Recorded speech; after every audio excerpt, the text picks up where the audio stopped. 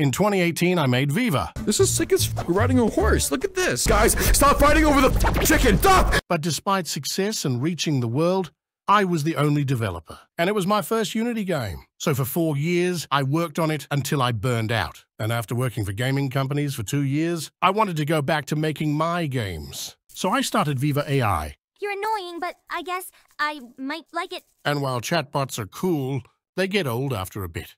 And I wanted more. So I'm taking Viva AI and adding actual gameplay. And so I present my robot.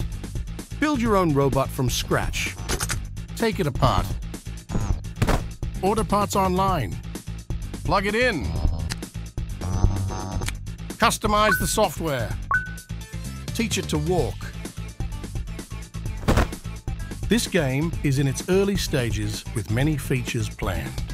You can follow the weekly development blog at patreon.com slash Sergeant Hale. I also offer early alpha builds before releasing demos in itch.io. You can follow me there as well. So yes, this is a complete remake of the chatbot. Ah, yes, it would be amazing to have arms to run around and explore like in a real game. Next pre-alpha will have ChatGPT integration. Hope to see you there.